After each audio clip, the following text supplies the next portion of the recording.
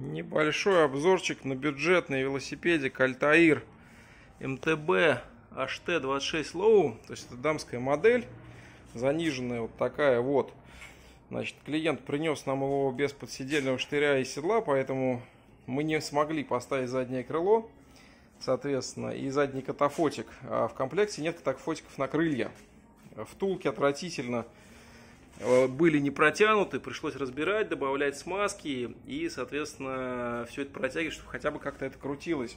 Протянули рулевую, нужно обязательно следить вот за этим вот местом, потому что гаечка раскручивается. Дальше каретка здесь тоже на шарах, тоже быстро разобьется, нужно следить, подтягивать вот это вот место, вот эту гаечку.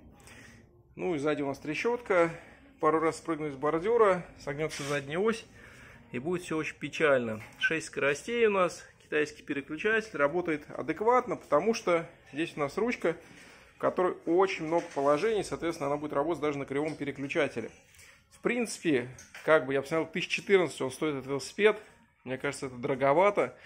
Велосипед стальной, очень тяжелый, на железной вилке, но зато впереди одна звездочка, сзади 6. То есть, в принципе, или ребенку, или девушке, вот кто начинающий каталец, начинающий велосипедист, это будет более-менее нормально. Главное в сборку приносить велосипед желательно с подседельным штырем, чтобы можно было все закрепить на него и отрегулировать. И следите после того, как вам его собрали, показали, что все работает, все настроено, тормоза, переключатели, все работает. Следите вот за рулевой, чтобы ничего вот здесь вот не раскручивалось. Следите за кареткой, если она не на промах, а на шариках, чтобы ничего не раскручивалось. И тогда ваш велосипед будет служить довольно долго.